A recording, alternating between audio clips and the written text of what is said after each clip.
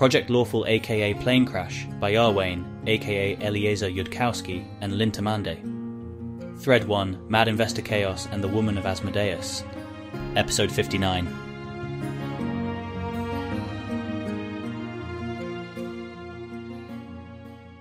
Keltham tries to figure out how he'd feel about telling the Chelish government. Well, not to give him Carissa or else, because, like, that is stupid on so many different levels, both as decision theory and as a trap that Isidra could be setting for him if she was less than absolutely trustworthy. Please give him Carissa permanently, or until he gives her back, to do with as he pleases, and have that be the regulation of Cheliax, and not just an arrangement between the two of them formalizing what Carissa gave him informally, as Carissa herself wants according to your very smart people. And in return, Keltham charges Cheliax very, very slightly less of their GDP increase, or some such. It's not particularly landing at this point. In a world with Pilars, Keltham can see, somehow, not with the eyes of Dathilan, but with the eyes of his own sexuality, that had no place available for it in Dathilan in a way that wasn't anyone's fault. Keltham can see how there could be a submissive woman, gender subtrope that is like being pursued and dated, but more so. He can imagine how that gender subtrope of woman might think it was more romantic for a man to desire her so much that he came in and just took her away, paying cost to do that but never asking. The question of how this ends up with the right people matched, and without giant, flaming, obvious incentive problems, if a man likes a woman who doesn't like him back, may perhaps rest on Golarion institutions unknown to him. Or it may be a reason why this desire, unsatisfiable in reality, is fed mainly by Golarion romance novels. He can imagine that Carissa wants that, even if he's pretty sure he's not imagining it correctly, true to the real Carissa Sever. It's enough to explain why a possible person would want that. To be in metaphorical bed chains, in her larger social and legal situation, chains that she wears always, as proof that a man wanted her that much. Carissa wants it. Let's suppose that to be true. Does that situation appeal to Keltham himself? Not really. The part where Carissa gives herself to him feels deeper and more meaningful to him than that choice being taken away from Carissa so that Keltham no longer knows she's still making it. It's a choice that says Keltham is worthy, that he and his sexuality are worth so much to Carissa, that she has judged him and chosen him, even though she could have had another, that he is valuable to Carissa in a way he was not so valuable to any woman in Dathilan. Is there some way you still get that in full measure? If somebody is with you because they can't escape within Golarion and have opted not to escape to the afterlife. Keltham isn't seeing it, for now. Maybe his thoughts are being too crystalline and logical about it, too denying of subtleties and forcing it all into, well, but then therefore, where people could just opt to not conclude that therefore. Maybe there is a way that Keltham can know Carissa still finds him worthy, even as she lives truly in the world where she has no other choice. Well, like the Detect Desires spell, for example. If you have that around for people who can afford it, then it is obviously going to change some things. Shit. Does Isidra do that to the people around her? Cast detect. Desires around them, or have it cast by a cleric who reports to her, and maybe not a cleric of Asmodeus either. Keltham is trying not to believe it too hard, but his brain just shouted very loudly, Yes, she does, because Isidre knows far too much about what various people want and it is extremely the sort of deontology violation that you'd expect from a good person with a deficit of law, an overly powerful intelligence headband, and horrifying problems that are horrifically large. Isidre would reason that the privacy violation was just not really that important on the scale of 20 million people. And even if her intelligence headband lets her fake some intuitive shadow of the law of coordination, she might still argue to herself that knowing more true facts about somebody is not something that ought to cause a breakdown of coordination. Keltham isn't even sure she's wrong. He doesn't have her problems. Call it 75% probability. But suppose Carissa is fine with detected desires being used on her. Though maybe that aspect has to be illegible so Carissa doesn't have to admit to herself that she could escape by wanting to be free. Well, leave aside the deontology violation of doing it without asking, suppose the thought experiment anyways. Or maybe Carissa says Keltham is entitled to detect desires, her and truth spell her whenever he wants, because that is part of what it means to give herself to him. And they never have to make mutually legible why or whether Keltham is doing that. Consider that least convenient possible world for the argument against putting Carissa in a situation where the absolute power, Keltham thinks the Taldane word in baseline, that Keltham has over her has been formally materialized and made real. The world where Keltham casts detect desires every morning, or multiple times per day, because least convenient possible world, and the spell always says that Carissa still wants him, and judges him worthy, and would have him hold absolute power over her. Then what? Then Keltham does not really see the added appeal from his perspective, but it is not obviously, or not legibly obviously, something he couldn't do for Carissa to make her happier, at little cost to himself except for where his mind just screamed that he is tilting further on that dangerous narrow ledge he is standing upon. And also, Isidre warned him not to have that done to Carissa unless he wanted it for himself. Keltham doing it because Carissa wants it is probably not what Carissa wants either. The Golarion woman's romance novel is about the man who wants you that much, in that way, and not because he thinks it is something you need to be happy. Maybe someday Keltham will come to feel for himself the thing that is the male complement of the gender subtrope that Carissa has, where he wants for himself to make that absolute power real, and cast detect desires as a guardrail around it, and make it so that if Carissa can't stop wanting him, then she can't stop having him either. Maybe someday he'll understand better the grounds he stands on in Golarion, and it will no longer seem like something that would get you kicked out of most cities in Dathilan. Well, no, not actually. They're just not going to do that to you in Dathilan. If Carissa is standing there saying, Get the fuck out of our private business, civilization, I don't need you to protect me. No victim, no crime, as the proverb goes. So it isn't like that. But maybe someday it will stop feeling like that. Also, civilization would. What would they even think of a situation where Carissa is going, Let me out, civilization. I don't want to be here anymore to test the bounds of the chains placed on her and be reassured that they are real. And Detect Desires is showing that Carissa wants desperately for civilization to laugh maniacally and say, No, you belong to Keltham, now. Keltham is sad he will never get to subsidize this question in a voting prediction market. He really wants to know what civilization would think of it. Well, no, actually, he wants to see the enormous flame war and very serious people shouting at each other that would happen if this question really came up, but also he wants to know what civilization would think of it. What does the Kelthamverse think of it? The Kelthamverse is what, three days old at this point? The Kelthamverse knows that it's a tiny baby world and wants to refer the question back to civilization so that it has a good starting point, but mostly this thought search has reached quiescence. There is not much expected value of logical information in searching further. Keltham finds no desire within himself, for his own sake, to transform Carissa's free gift to him into a metaphorical chain that she wears always. And for him to do it for her sake is almost surely not what Carissa wants. He will reopen the question when and if he finds within himself that gender subtrope that is complement to Carissa's. And meanwhile, he is not going to say anything to Carissa that sounds like, Never forget, you've got the right to leave at any time because that would be stupid.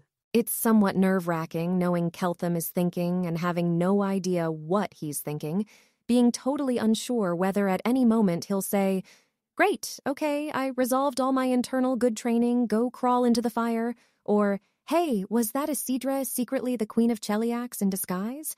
It was inferable from several things she said, or, I've decided Cheliax is too good, can we relocate operations to Razmiran? Or, Actually, coming up with scary things, Keltham might say, isn't a productive thing to be doing. What if instead she tries to understand magnetism, so she can be impressive next time they try prestidigitation, and then whatever happens will happen. Give up hope and endure. Carissa, meta question. If I suspect Isidra of doing something that might or might not be incredibly criminal in Cheliax, maybe it is. Maybe it's the sort of thing people like her are quietly expected to do. Is that something I talk to you about? Wow, that's substantially worse than crawl into the fire. At the World Wound, you are obligated to report things like that to a different lawful church if you think your own might fail to handle it. Here, I guess talking to me about it is a reasonable thing to do. Let me think if there's a reason not to tell me. Are they going to have to escape? I think you should tell me. Isidra knows way too much about what various people want, and this isn't Dathilan, so the people around her don't have a good sense of what you can't do with just an intelligence headband. I suspect Isidra of having somebody, maybe a cleric not of Asmodeus, casting Detect Desires and reporting to her. If she's not that cleric herself, come to think. Or maybe it's also a wizard spell I didn't think to ask. Anyways, I'm at 75% probability that's what she does, and that's taking into account how little I know. Targets would have included you, Pilar, maybe me if Asmodeus didn't specifically direct otherwise, and possibly, I am less sure about this part, the Queen of Cheliax. Even in Taldor, but old Cheliax is Taldor, new Cheliax is Asmodeus's, safer not to lie. Except for how everything is a lie. Carissa has never found lying to be difficult before, and these days it's like navigating a dungeon blindfolded. The fact that Cheliax could mind control Keltham and hasn't is useful evidence of good faith, and also she's already told him that. But also making it clear that Keltham wouldn't notice if sufficiently powerful people did, it makes it impossible to preserve an escape avenue where Keltham concludes there's a rot that doesn't extend to the top. I'm going to start by saying things I'm very sure of and then get to things I'm less sure of, she says. So, invasive divinations by default feel like something it's possible to notice them happening to you. Probably, uh, Contessa Lorelatha or the Queen herself could cast an invasive divination you couldn't even detect. They could also do mind control that felt like your own choices but anyone much less powerful than that would be running a reasonably high chance that their targets would notice. Unless there are some powerful secret magic items involved, which there might be. When you cast Detect Desires on me, I felt it, and I could have attempted to fight you off and probably succeeded. We should make sure you know what that feeling is and that you haven't felt it at any time in the last couple of days. Strongly predict you haven't, though. When the priest on duty at the World Wound first got a revelation from Asmodeus about you, his instructions to me suggested that Asmodeus had very firmly prohibited a very wide class of things, including some we don't even think of as bad behavior, with respect to you. I haven't noticed unexpected invasive divinations or enchantments cast on me, though I consented to a truth spell and some invasive divinations for security screening for this project. And I'm third circle, not fourth. That makes a substantial difference in how powerful you'd need to be to be sure I wouldn't notice. And Pilar's second, which makes her even easier to hit. And Pilar might have agreed to screening for various weird things when she got back from Elysium because she'd spent a bunch of time around chaotic outsiders. Trying to cast an invasive divination on the Queen of Cheliax is definitely an incredibly serious crime. Like, they would execute you on the spot after making sure you weren't spying for somebody sort of crime. I think trying to cast an invasive divination on people involved in a secret project would be considered a big deal also. I it might be one of those things where the church and the crown aren't entirely on the same page. It is definitely the kind of thing you'd report at the World Wound. Somewhat reassuring. And also, in retrospect, I shouldn't have said 75% for Detect Desires. That was too narrow a hypothesis. Rookie cognitive error. Magical items, sure, maybe, a function on that irreplaceable relic headband. Or is there something that's like Fox's cunning, Owl's wisdom, Eagle's splendor, but for reading people? True, not that damning, sort of inconvenient to admit, but Keltham's already noticed a bunch of its correlates in various places. Yeah, there is. Uh, not a spell, but there are magic items for it, and it's a stereotype about nobles that they're all ridiculously enhanced at it. That would plausibly be it, yeah. I don't know what it can't do. And if it's legal and not considered socially unacceptable, then Isidra seems like the sort of person who's extremely likely to get the most powerful version of it that exists. Well, maybe I ran ahead too far of my inference speed limit there, too influenced by the trope where you walk up to somebody and grimly say, I'm sorry, but I'm afraid you know too much, and then prove that they couldn't have reached their conclusions from only the information they were supposed to have. It would be more likely that Isidre was doing something undetectable and legal than that she was doing something incredibly illegal and where she might get caught. Of course, Dathi Lan has stories about that and finds a special joy in discovering and uncovering it. Abandon hope and endure. No. Win. I'm still not sure what a trope is, but yeah, I'd expect someone in her position is much, much likelier to be achieving her results with powerful magic that no one really objects to. It works just as well if the other person has mind blank up, which is the intuitive line between just being uncannily good at looking and using invasive magic. Mind blank. Eighth circle, incredibly powerful abjuration that provides approximately categorical protection against divinations and enchantments targeting you. You can't get around it with a wish. That's how powerful it is. If someone tries to scry the room you're in, the room will appear, but you won't. If someone casts Detect Intelligence, they'll detect all intelligent minds in the area except yours. And there's magic items of it, but they cost 8 million gold pieces, and who knows, they might be cursed. I actually don't even know a magic item of it to exist at all, but if it did, it'd certainly be priceless. And it can't possibly be what it sounds like but I'll ask anyways, just in case.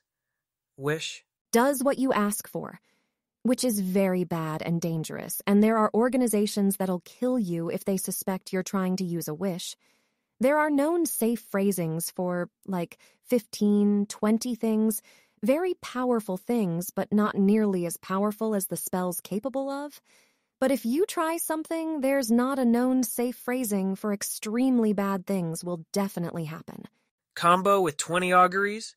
Keltham says, before it occurs to him that maybe he shouldn't be giving ideas like that away. Duplicating auguries doesn't work. You get the same answer. But there are more powerful spells for talking to one's god, like Commune, and Ninth Circle wizards with an INT of 30 do occasionally advisedly cast powerful wishes, which I assume is how we got the known safe phrasings we do have. How the flaming noodles do you get to INT 30? Even with a plus 6 intelligence headband, you'd have to start from INT 24, which is Dathilan plus 3, and then that takes you to Dathilan plus 6. I'm not sure we even have anybody who's actually that smart, and not just a measurement breaking down. If anyone here is that smart and not restricted from communicating like gods are restricted, Golarion shouldn't exist. One of the known safe wordings of a wish is intelligence enhancement.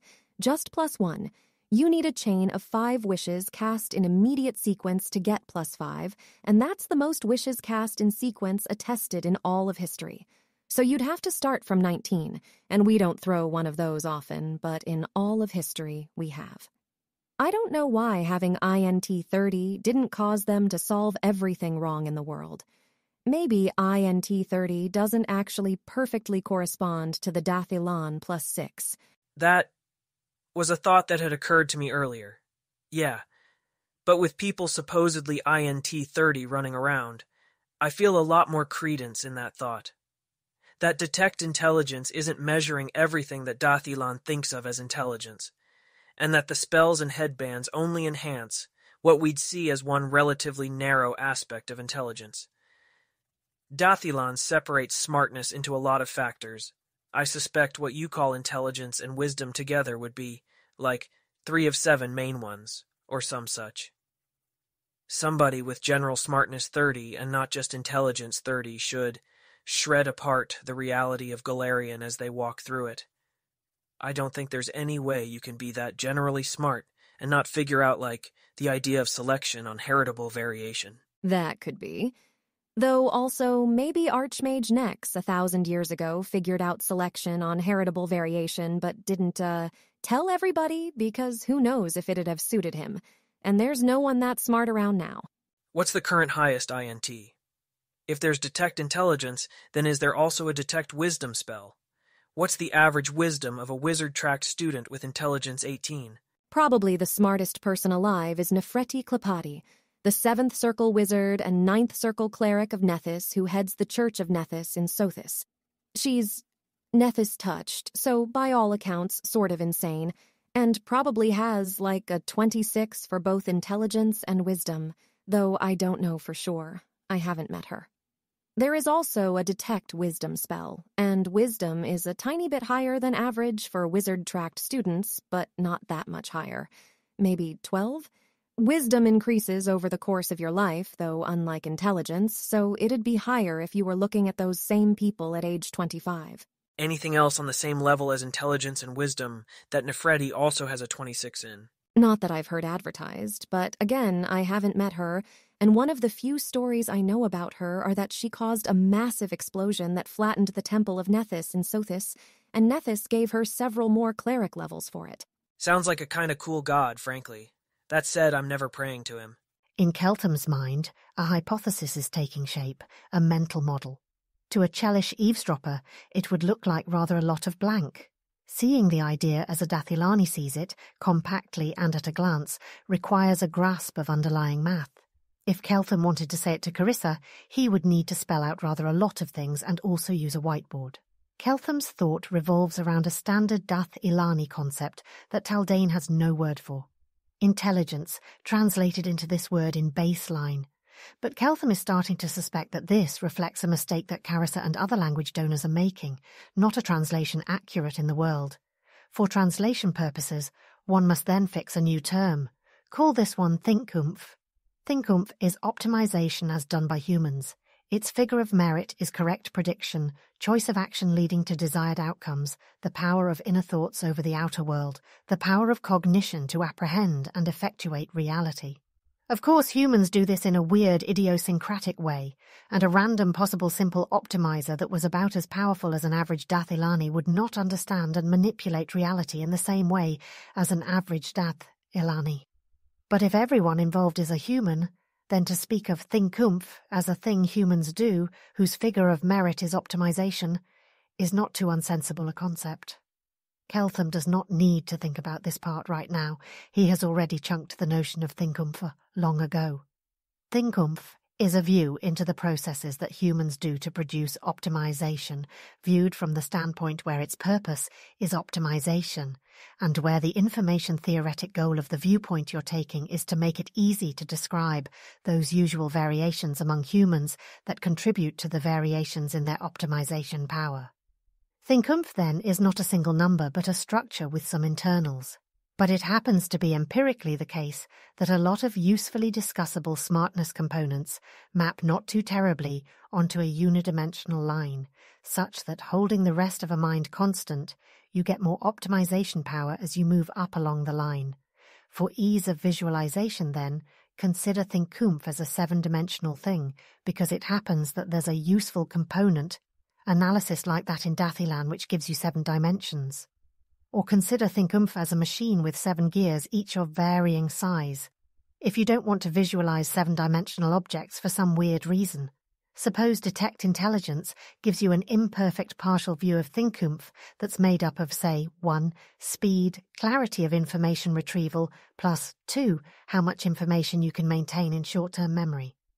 Detect Wisdom gives you an imperfect partial view of 3. The piece of Thinkoomph, that's perceptual clarity, which critically has a subpiece, 3a, that is clarity and detail and accuracy of introspection, which is to say, shifting viewpoints from the machinery to the result that machinery produces, that detect wisdom imperfectly measures the machinery that grinds to produce reflection. In Dathilan, the proverb poem goes, Beware lest what you can measure easily becomes all that you measure. Beware lest it become all that you optimize. Beware lest it become all that you ever think of. The people of Golarion know how to detect intelligence and detect wisdom, and that's it. So they think there are two components of Thinkumphi. They invent two spells to boost the thing that detect intelligence detects and the thing that detect wisdom detects. They invent headbands to boost the thing that detect intelligence detects. The amount the headband sells for depends on how large of a shift it produces in that handy spell, detect intelligence, which, as everyone in Golarion knows, detects intelligence. If the detect intelligence spell says that a headband produces a plus three to intelligence, it's worth less money than if detect intelligence says that the headband produces plus four to intelligence. Imagine now that nobody has invented detect wisdom yet, just detect intelligence. Imagine that somebody with a vision of broader thinkoomph builds a new headband that would, if you could also run detect wisdom, show to produce a plus three to intelligence and a plus three to wisdom. This headband is probably more expensive to build than the one that produces plus four to intelligence, probably by a lot, and the Detectam intelligence spell says that it produces an inferior result than the plus four headband. So nobody builds a headband like that if they don't have detect wisdom. Does either intelligence or wisdom incorporate creativity, outside the box solutions, outside the box hypotheses? Maybe when Keltham dares to try on an intelligence headband, if he ever so dares, it'll be immediately apparent to him that this headband boosts every part of cognition that Owl's wisdom didn't boost. But Keltham is guessing that this will prove to not be the case. Consider then the world in which Golarion has a detect intelligence spell and a detect wisdom spell, but these are only three out of seven components of cognition. It's not the kids with highest think oomph who get tracked to be wizards. It's the kids with the highest detected intelligence. It is, of course, famously true that in humans, and describing humans is what the concept of think oomph is all about. Most things you can measure about think oomph's components or outputs will all correlate with each other quite a lot. The kids with intelligence 14, which Keltham thinks was supposed to be the wizard tracking threshold, do tend to have wisdom 12, rather than wisdom 10. But if you were looking not at random at somebody with intelligence 14, selected on high intelligence, and asking what are the rest of their thinkoomph components like, then the rest are probably more like what their wisdom score happened to be. When you select on kids with high detected intelligence, you're not just selecting for kids with high general thinkoomph levels that produce high intelligence. Along the way, you're selecting for kids whose intelligence is unusually high compared to the rest of their thinkoomph. That's why the wisdom comes out as 12 instead of 14. Dathilan has heritage optimized itself over generations in full awareness of how all these measurement and optimization gotchas work. They are doing their best to measure real world results broadly and doing genetics and statistics to them. Dathilan does not want to end up testing some weird projection of thinkoomph that originally started out correlated with thinkoomph, optimizing over this weird projection and ending up with optimized things that have much more of the weird projected quality than they have thinkoomph. Dathilan wants actual thinkoomph and is explicitly not pursuing it the stupid way. So you've got your kid with intelligence 18 and wisdom 14 and they get wizard tracked and get a plus 6 intelligence headband. Or maybe if they become spectacularly successful, a relic with plus six intelligence and plus four wisdom, and if they're incredibly insanely successful, they get two or three layered wish spells on top of that. They end up, say, with 27 intelligence and 21 wisdom. In Dathilani terms, those subcomponents of Thinkoomph would now be at plus four, 5 SD and plus 1, 5 SD respectively but their other four out of seven Thinkoomph characteristics are still around 14, or in Dathilani terms if the scales match, 2SD. Golarionites don't know how to easily measure these other components. They don't try to boost them. They don't think about them. This sounds a lot more like a model consistent with Golarion than the model where anyone with plus six Thinkoomph has literally ever existed here. You don't need training to be a keeper at plus six Thinkoomph. You just are one. Inside Keltham's mind, this is all a much shorter and better chunked thing to think. What he thinks, roughly, is, hey, maybe they got Goodhart's cursed on intelligence and wisdom metrics. Only Keltham's actual thought is that Thinkoomph is the underlying true value. Intelligence and wisdom are imperfect proxy measures of Thinkoomph. Optimization over intelligence and wisdom will select not just on Thinkoomph, but on upward divergence of measured intelligence and wisdom scores from underlying Thinkoomph scores, that this applies both to selecting students for wizard tracking and for boosting them with intelligence headbands later. And that this will, of course, produce people who may detect as plus four intelligence and plus four wisdom, but who started with something like minus two or minus one, underlying general abstracted correlation of Thinkoomph components, and now have something more like plus one final optimization power as a result of all that intelligence and wisdom boosting. Nobody with plus six thinkoomph has ever walked through this place. They'd shred it around themselves like tissue paper. Putting a pin in something to follow up on later, Keltham says, after the few seconds it takes for him to think the compact version of the thought. Detect my wisdom. If it's 20, that's very bad news for your heritage optimization project, and makes my heritage substantially more valuable. If my wisdom is 14, that's much better news for you. Underlying reasoning behind that statement is going to take a drawing wall, though. Do wishes by any chance need to be spoken in a strange, inhuman language? Wreaking total havoc if you state things the least bit incorrectly seems obviously reminiscent of bare metal systems programming. A couple of the known safe wordings are Taldane. The others are other things, but other human languages, I think. Can you invent an artificial language and say a wish in that? Probably, but you'd be starting without any known safe wordings, so. Look, I am sure Dathilan has an equivalent to this, uh, a thing where smart people immediately start thinking of a clever way to do it that will get around all the things they've been told might go wrong. But the clever way will also go wrong, and maybe we'll eventually be able to use wishes to do stuff. But I think you are lacking the background of how everyone always tries to come up with a clever way to use wishes to solve their problems, and they sound like they'll work fine, and then they don't, and it's a disaster, which you'd have if you were from Golarion. And it's not that I don't want to rewrite the fabric of reality just by speaking aloud. I'd love to. Carissa, I wasn't considering doing that on any remotely near term timescale. I'm not completely shit pooping insane. I was just curious if anybody had maybe already tried the thing that a Dath Ilani thinks of in half a second. Namely, casting wishes with a real, actual, proper specification language. Or maybe that's overkill, and all you need is baseline instead of flaming Taldane. Keltham isn't betting on it. He's not going to try it. But he sure is thinking it. Okay. Just, we have, uh, maybe a trope about people going, Oh, I thought of a clever way to do safe wishes no one tried before, shortly before there's a smoking crater a teleport distance across. Asking questions is fine. I don't know anyone to have tried that. Don't do anything that would make Broom give me a sad look. Got it. Though this smoking crater business, again, sounds like a result you would absolutely get if what you needed was a programming language for bare metal systems programming, and what you used was spoken colloquial Taldane. To be fair, if that's true, it's a puzzle why any wish works, let alone asking for an intelligence boost. Maybe he'll look into known safe wordings and unsafe wordings and check if there's anything really, really obvious going on there if the person reading it is a computer programmer. Maybe he is being a typical Dathilani male in a certain way, and he should stop doing that.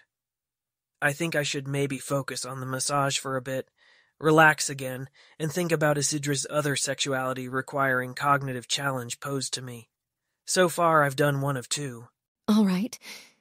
She was kind of hoping that Keltham would be annoyed about her being argumentative at him, but either he wasn't, or it just didn't occur to him that if you're annoyed at your girlfriend who belongs to you, you can hit her about it. Oh well, massage in silence it is. After a bit of silence, relaxing again, mentally leaning into the massage, and yes, very briefly poking some internal curiosity about what exactly it is that is Pilar's obligate fetish, precisely speaking, Keltham returns to contemplating more sexual questions. How does he feel about renting Carissa out? Mostly, he's still getting a what from his brain. Can he evaluate it concretely rather than abstractly? Not without having actually met the Queen of Cheliax at all. Okay, but Keltham does know some people. He even knows some female people, in case this is a polarized gender trope with respect to the renting individual. How does Keltham feel about renting Carissa to his max mutual word count co-author, from his fic circle back in Dathilan, who happens to possess the requisite parts? Sad about never writing anything with her again. Also, she's probably not a sadist like at all. Also, maybe it actually is not a terribly good idea to think right now about people who believe he's truly dead. Keltham knows some female people inside a totally different universe that is not that universe. He doesn't know them very well, but he can ask himself the concrete question anyways. What if he were to rent Carissa to, say, Tonya Barrero, in repayment of the debt he owes her for an unexpected, unvolunteered in advance, at best semi consensual truth spelling. Still file not found here. He doesn't know Tanya well enough. Keltham knows what to do in this cognitive situation. For purposes of testing this function, keep supplying imaginary values to the Tanya structure until he can complete the function call. If at any point he gets a negative result, he can then tweak values to see if there's any value that produces a positive result instead, and then he'll also know what properties he's looking for. Let Tonya be a sadist, but like a young sadist who's only slightly more experienced there than Keltham, and in no danger of providing Carissa with an unforgettable experience, less forgettable than other experiences she's already had, thereby causing Carissa to leave him for Tonya, who is the superior sadist. Actually, Keltham is not sure he really needs this part of the spec. Carissa's current attraction to him is not because Keltham is a super sadist, and therefore it is perfectly pseudo reasonable that you can't steal Carissa from him by being a better super sadist. Alas, that which is perfectly pseudo reasonable is not always perfectly reasonable. Anyways, fix the current values at favorable ones to see if this function returns false, even under quite favorable circumstances. Tonya can hurt Carissa slightly more than Keltham, but not threateningly so. She can't give Carissa an orgasm due to Carissa's Erolarp character arc, posing a sex problem, so Tonya's not threateningly better than him there. And if Tonya was, Keltham could always just tell Carissa she's not allowed. Okay, something reacted to that inside him. That didn't react to hearing about the magical item Belt of No Touch. Possibly because in this case there was any reason for it, and that made the scenario more real. Or say mostly, in this scenario, Carissa is being rented to Tonya in order to provide Tonya with not necessarily reciprocated pleasure, just like if Tonya had bought a sex worker in Dath Ilan. Suppose Carissa doesn't hate it. Keltham's Carissa Model is now complaining that he is not supposed to check this, and that offends her dignity of being harder to hurt than that. Well, sorry, Carissa Model, that is not what Keltham is optimizing right now. Carissa even manages to have a moderately fun time because Tonya hurts her some and reacts in a way that makes Carissa feel pride in her own sexual skills. And it actually matters to her that Keltham told her to do it. Postulating this part feels hard. Keltham is not himself a Carissa, and he is not sure what it is like on the inside to be a Carissa. Keltham thinks he is at least not, obviously not okay with this whole sort of thing. It feels a lot like asking, in an ordinary relationship, how you would feel about your partner going out for a night with somebody else who'd been like, yeah, screw flirting, what's your monetary price? He wouldn't have objected to that back in Dath Ilan, he wasn't that monogamous with anyone. That these feel like similar questions probably reflects Keltham failing to get to grips with the actual gender trope here. Isidra seemed to think this should not feel like the same gender trope as sex work, even if it had similar gender ratios.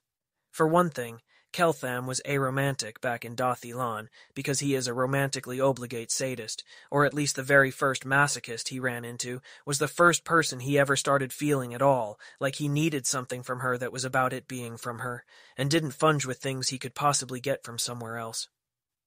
How would Keltham feel about Carissa trading herself to somebody for one unskilled labor week is, like 1.2 gold or so? Let's say 2 gold. Carissa is hot. Parts of Keltham are not happy with this, because Carissa is his. Because Keltham is insecure about whether that would mean Carissa still liked him more than she likes anybody else. Because Keltham is supposed to give permission first. Keltham doesn't know. But if Keltham orders Carissa to do it, for whatever reason, then that's okay. Possibly, at least if all the other call values are set to imaginary Tonya settings, and with likely settings on the Queen of Cheliax, rather than favorable settings on Tonya. If, in exchange for an ultimately insignificant symbolic amount of money, and with at least some pressure on the side to deny a trope, and perhaps the entire theory of tropism, Carissa is rented to a brosomething Thrune. Older than Carissa, with the same de facto ability to chain her for real if she really wanted, assuming that Keltham did not object, which he would. Probably a much, much more experienced sadist than Keltham, with access to far more powerful sex toys that are the equivalent of overpowered vibrators with biofeedback functions and, yes, the ability to make Carissa come. It's not quite an obvious no. It basically depends, Keltham is pretty sure, on whether Keltham is afraid that Carissa can be taken away from him by somebody being a better sadist to her than he can be for a while yet. If somebody is the more skillful manipulator of masochism, of what did Isidre call it, submission, can they steal away Carissa's feelings from him? The threat of giving Carissa an orgasm, the threat of also having potential absolute power over her, seem less real than that. Keltham's hindbrain, which may, of course, be entirely factually wrong about everything, intuits that it is basically not possible to steal Carissa by giving her a good enough orgasm. Hurting her, maybe, understanding the deep keys to her sexuality that Keltham is still struggling with, but not with humanly reasonable amounts of pleasure, short of dangerous drugs. And as for the absolute power threat, in part, it doesn't feel as real because Keltham has not internalized a model of whatever it is that Carissa has inside her. But also, it's impossible for two people to both have potential absolute power over someone. If they came into conflict, after all, only one of them could get their way. So long as that person would be Keltham, rather than the Queen of Cheliax, everything would be fine, right?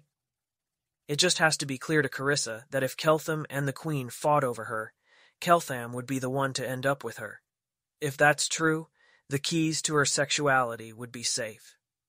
Not that Keltham is thinking that he can, like, wield more political power inside Cheliax than its own nearly unilateral chief executive. But the Queen of Cheliax has to be sensible and consider things like political capital with the Church of Asmodeus, while Keltham can be much less sensible and walk out on Cheliax if the Queen steals his girl from him. It shouldn't be about power alone, Keltham doesn't think. Differential willingness to use power should be an acceptable coin to Carissa's sexuality. It controls who would actually end up with her, if it came to that. Keltham's not willing, not today, to bargain a probabilistic or absolute walkout on Cheliax in order to tell the government of Cheliax to hand Carissa over to him in legal reality, to say that he considers her a necessary part of his gains from trade. Telling Cheliax that he considers Carissa a necessary part of his gains from trade, and he'll walk out if the queen steals her, either by kidnapping her or by renting her from Keltham, but then giving her an experience that shifts her romantic focus away from Keltham to the Queen. She's Keltham's. The Queen can't have her except temporarily? Sure. That he feels totally willing to do. Carissa would probably find that hot. Keltham's Carissa model confidently finds it very hot if Keltham actually wins at it. But Keltham is not entirely confident in his Carissa model. Well, at least Keltham should definitely win. He can't really see any functional chief executive being like, Lal, no, I'm going to take Carissa and watch you walk out on Cheliax, and even if the queen wanted to, her advisers would stop her. She's an overly good person in an overly good government that has to be stopped by Asmodeus from resorting to outright mind control when it looks like that might be for the greater good of the country. Keltham isn't pure evil, sure, but he's not that good, which means he should win this particular contest. Of course, that's only if people are running on sanity. If the queen is running on tropes, she'll try to steal Carissa, no matter how bad it would be for Cheliax if she succeeded. But then, if those events are running on tropes, it's impossible to win Carissa's true love sexuality without winning a fight for real power over her. The queen should ultimately fail to do that after making worrying progress, and then end up kicked up out of Cheliax, and or harem recruited. Anyways, he's got enough of an answer that his next step is to ask Isidre to meet again and check his model of how all this works. Or ask Carissa? He kind of wants to ask Isidre first, before he tries to talk with Carissa. Isidre is more willing to be legible, and nothing blows up if he says the wrong thing in front of her. Carissa has thought up a reasonable amount of opinions about contraception and magnetism, despite being distracted every few seconds by contemplating the fact that Keltham is probably contemplating Isidre's offer. The Queen, there's not actually much point contemplating what having sex with the Queen of Cheliax would be like, and not just because that definitely counts as flirting with her. It will probably be awful. Carissa is a grown adult and is going to go to hell someday and can handle awful. It'll probably be so being hurt isn't upsetting, being hurt can be fun, and even when it's more than she can take, like the cursed bag, it's not upsetting. It's bad, but it's a specific kind of bad. That's all right. There are things that are actually upsetting, and thinking about them is just asking for it. No, she'll just think about how to orchestrate a convincing demonstration of suggestion to Keltham instead. Pending questions resolved into a state of quiescence, Keltham relaxes more into the massage. It's nice. Does he want to command some non reciprocated sexual service from Carissa at the end of this? The idea of ordering her to do it seems more comfortable now. Possibly it has something to do with having heard that she has any coherently imaginable endgame. Maybe it's just a shock, having had time to sink in, and for Keltham to adjust. But then, his libido might go offline for a while. He shouldn't expend his newly refilled arrow reservoir if he needs to have another conversation with Isidra today. It's not clear how urgent this whole thing is. Exactly. Carissa, Keltham says out loud, his voice coming out sounding as relaxed as he is. I'm too relaxed right now to really want to move, so can I ask you to have them return my reply to Isidre? That I'm interested in further discussing her second suggested course of action, though I'm not yet on a definite yes. And can I possibly get a yes no in the next ten minutes about whether or not Isidre wants to meet me again today? It wouldn't occur to Keltham that Isidre might not imagine him to be capable of a quick reconsideration and answer. One hour is a long time to think in Dathilan, and sure it may take longer to reconsider some major life questions, but there's no presumption that you can't do it in an hour. It similarly wouldn't occur to Keltham that he ought not ask a senior governance official for a yes no answer in ten minutes. Somebody like Isidra is surely interrupted often enough, and good enough at task switching, that she's checking her tiny task queue every eight minutes in Isidri's computer based and network connected task management system, which will continue to go on existing in Keltham's imagination and his pre programmed social reflexes, unless and until he thinks explicitly about that question for literally half of a second.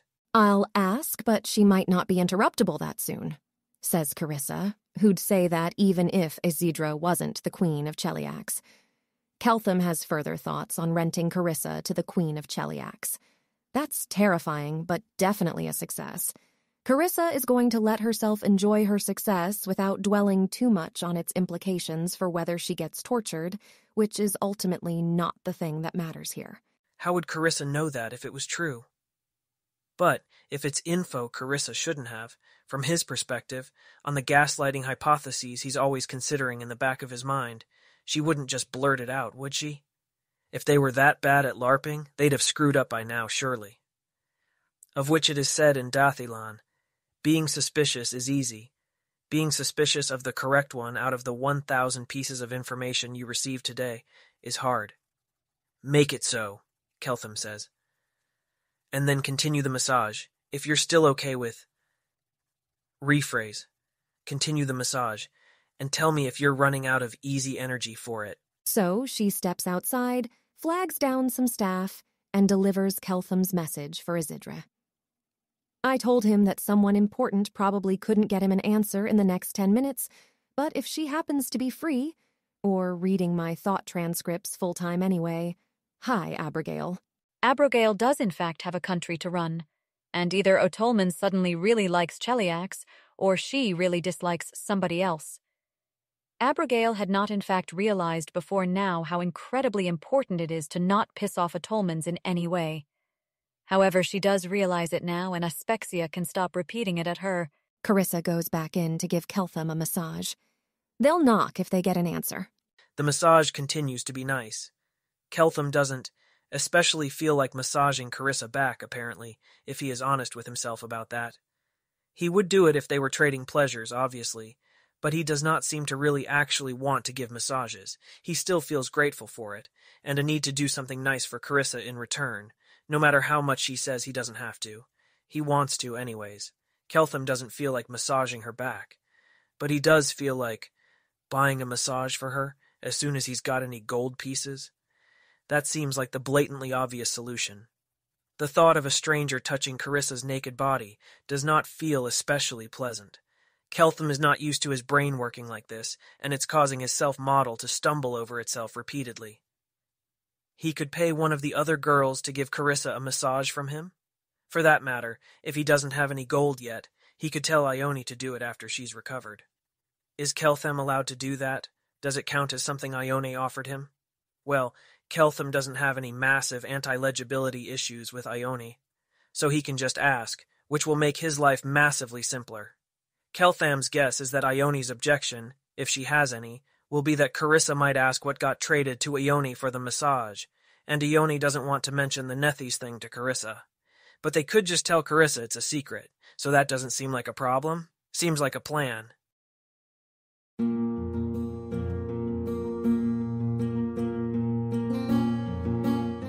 If you wish to support this AI reading and others like it, please visit patreon.com slash askwhocastsai. Any help is appreciated.